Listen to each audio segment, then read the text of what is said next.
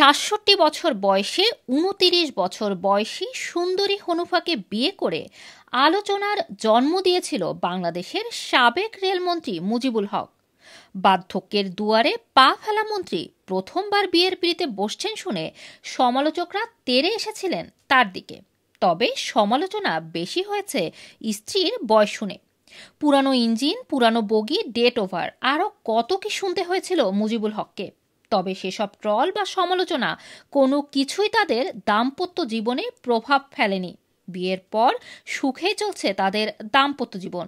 সন্তানেরও মুখ দেখেছেন এই দম্পতি। এই দম্পতির ঘরে রয়েছে দুই ছেলে এবং এক মেয়ে। এদিকে সোশ্যাল মিডিয়ায় ভাইরাল আর এক জুটি টম ইমাম এবং মিষ্টি ইমাম। দাদু, সুগার ড্যাডি বা নানা, যে নামে ট্রোল করুন না কেন, এই দম্পতি কিন্তু সুখেই সংসার করছেন। বয়সের ফারাক তিরিশ বছর হলেও সুখেই সংসার করছে টম এবং মিষ্টি মাম। বিশ বছরের তরুণী মিষ্টি ভালোবেসেই বিয়ে করেছেন পঞ্চাশ বছরের টমকে। আলোচনা এখানেই থেমে নেই। টাকার লোভে এবং আমেরিকার বাসিন্দা হতেই নাকি মিষ্টি বিয়ে করেছে পঞ্চাশোর্ধ টম ইমামকে। তিন বছর সংসার অতিবাহিত করা টম বলেন কোটি কোটি টাকা ছিল, কিন্তু শান্তি ছিল না। এখন বউ পাশে আছে, শান্তি আছে। দুই বছর পর সন্তান নিবেন বলেও জানিয়েছেন তারা। আলোচিত এই জুটির প্রেম পর্বের শুরুটাও ছিল বেশ নাটকীয়।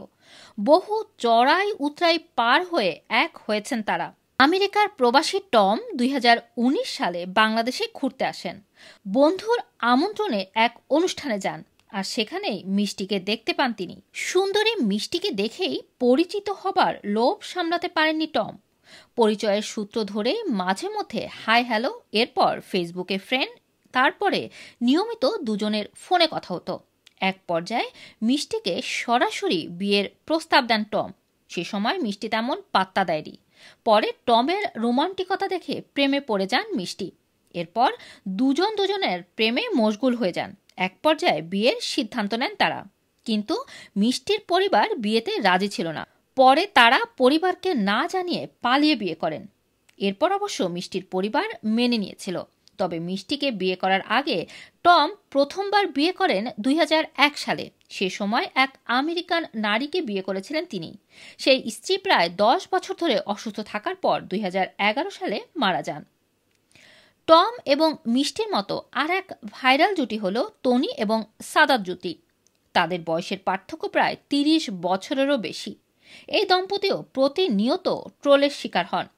টনি একজন সফল নারী উদ্যোক্তা। তারপরও টাকার লোভে সাদাতকে বিয়ে করেছেন। টনি এমনটাই সামাজিক যোগাযোগ মাধ্যমে প্রতিনিয়ত শুনছেন। বাড়ি গাড়ি আছে দেখে শিক্ষিত মেয়ে হয়েও এমন বুড়োকে বিয়ে কিংবা বুড়োকে ঘরে রেখে পরকিয়া করে বেড়াচ্ছেন। এমন অনেক তির্যক মন্তব্য শুনতে হয় তনিকে। কিন্তু কোনো কিছুতেই পাত্তা দিতে চান না তনি। বরং স্বামী সাদাতকে নিয়ে প্রতিনিয়ত অনলাইনে দেখা যায় এই জুটিকে। একই সাথে ব্যবসায়িক নানা উদ্যোগ তনিকে সফল উদ্যোক্তা হতে আরও এক ধাপ এগিয়ে নিয়ে যাচ্ছে।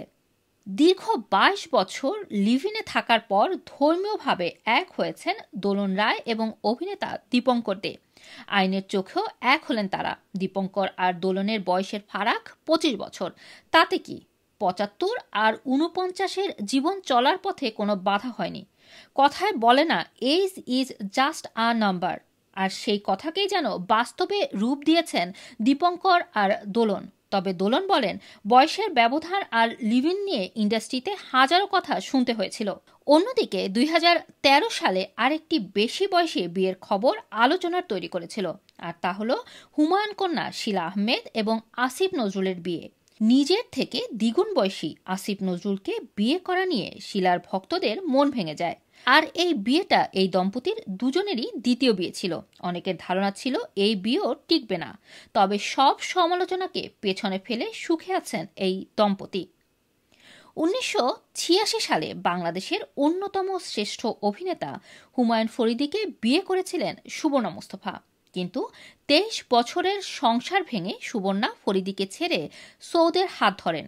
দুই হাজার আট সালে দশ লাখ টাকা দেনমোহরে গোপনে সুবর্ণা নাট্য নির্মাতা সৌদকে বিয়ে করেন। মজার বিষয় হল সুবর্ণা এবং সৌদের বয়সের বিস্তর পার্থক্য। সুবর্ণার দ্বিতীয় সংসার নিয়ে ফিসফাস হয় প্রায় কখনো কখনো শোনা যায়, সুবর্ণার অসম সংসার ভাঙছে। কিন্তু বাইরের চোখ বলেন, তারা ভালো আছেন। বিনোদনের এমন মজার মজার তথ্য জানুন আমাদের ইউটিউব এবং ফেসবুক পেজে। লাইক, ফলো এবং সাবস্ক্রাইব করুন আমাদের চ্যানেলটি।